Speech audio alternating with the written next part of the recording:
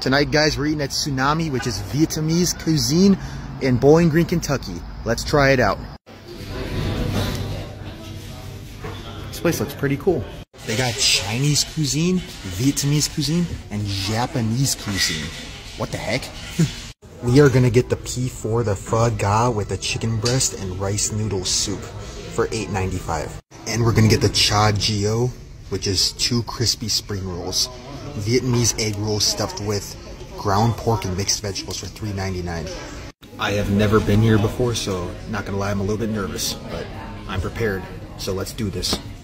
We got our crispy spring rolls, guys. Pretty small, but see how it goes. Very hot.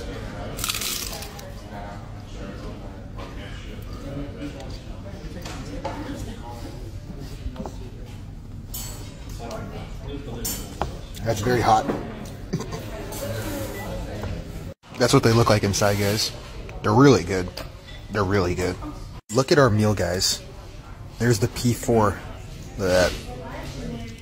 That looks incredible. It's got chicken breast in it and rice noodles. That looks absolutely phenomenal. First of all, we're going to try the broth.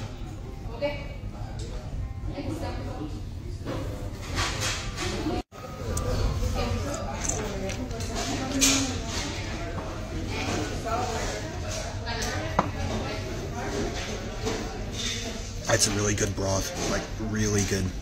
Look at that. Look at those rice noodles glisten.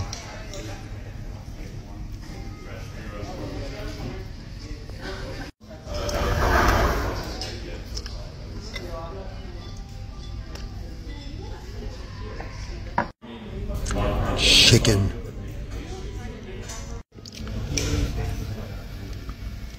Now we're just gonna throw a crap ton of sriracha in there because I love sriracha. Oh yeah. Oh yeah, look at all that.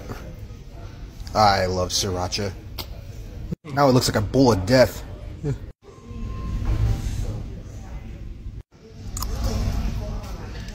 Try the broth one more time.